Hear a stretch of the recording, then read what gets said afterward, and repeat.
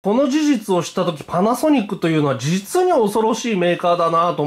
じゃーんパナソニック HX-A500 ウェアラブルカメラでございますけどもね、以前にもレビューしました。えー、製品をお借りしてレビューしましたけども、継続的にちょっと僕は使用したいということで、えー、こちら新品の方を送っていただきました。で、なんでこれの話してんのだと。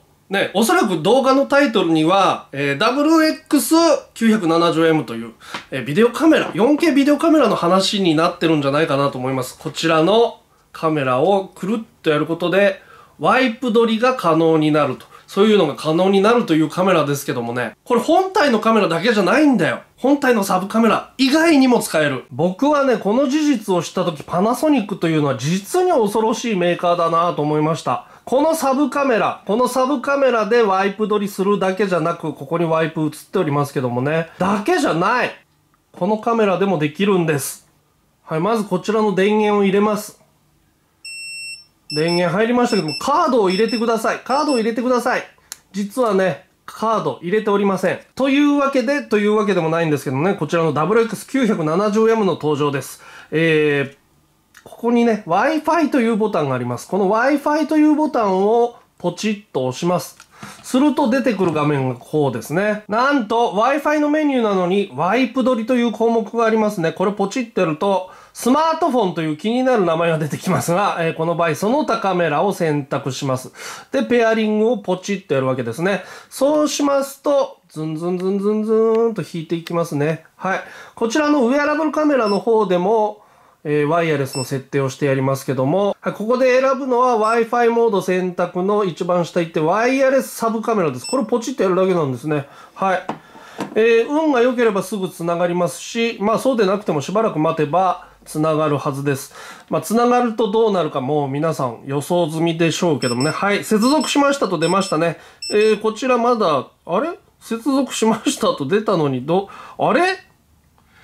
どうな、あ、接続しました出ましたね。両方で接続できました。で、はい。ようやく来ましたな。ようやく来ました。でもこれでも早い方じゃねえかな。うん。あのー、見えますか？ワイプ撮り。これで撮ってるんですよ。ほら、ほら、ほら。ほら。若干タイムラグあるの分かりますかね？ちょっとタイムラグありますね。うん。タイムラグはあるけど、ワイヤレスサブカメラっていうことができちゃうわけですね。ということはですね、こういった三脚ネジとアクセサリーシューをかますようなものを装着してですね、ここにくっつけてみましょうよ。か WX970M のお尻にくっつけると。これ良くない？ねえ。だ、だって断然画質いいんだもん。こっちのサブカメラより、本体内蔵のサブカメラよりも、ねえウェアラブルカム使った方が断然画質いいんだもん。これをどうするかって問題はあるよね。ウェアラブルカムの本体をどうするかって問題はあるんだけども、まあいいや。この際どうでもいいや。あら、これ、いいじゃない。ねえ。これはいいじゃない。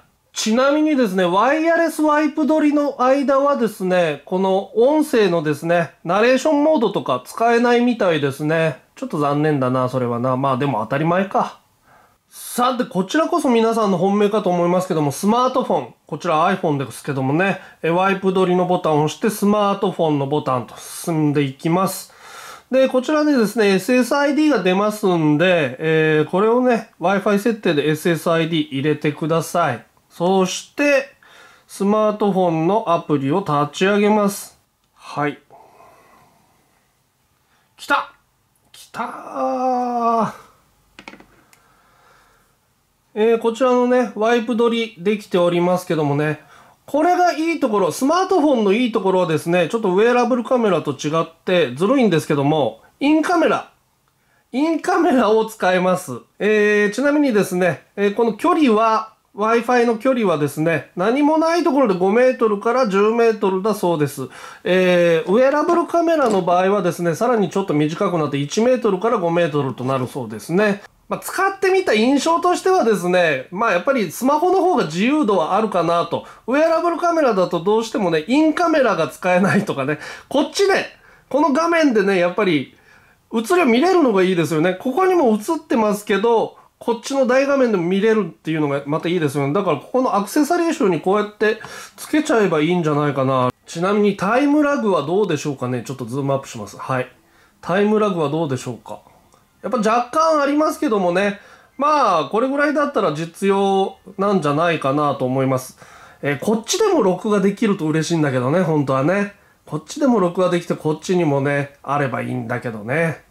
ちなみにワイヤレスの時でもワイプなし映像記録っていうのはできるみたいですね。というわけでね、さらに進化したワイプ撮り、内蔵カメラだけじゃなくって、ウェアラブルのね、カメラであるとか、あとスマートフォンであるとかね、そういったものを使用して、ワイプ撮りができると。これはもう大変面白いですね。ちなみにですね、えー、最新のウェアラブルカム、これ A500 だけではなくて、えー、フル HD の方の機種、4K じゃない方の機種のね、A100 でも対応してるそうです。ワイヤレスワイプ撮りには対応してるそうです。えー、それからちょっと注意事項なんですけども、え、こちら 4K のカメラではありますが、でワイヤレスワイプ撮りの時は対応してない。4K では撮影できないとのことなんですね。まあ、でも楽しいからいいよ。うん。夢広がりますよね、こういうことができるとね。はい。えー、WX970M を使ったワイヤレスワイプ撮りでございました。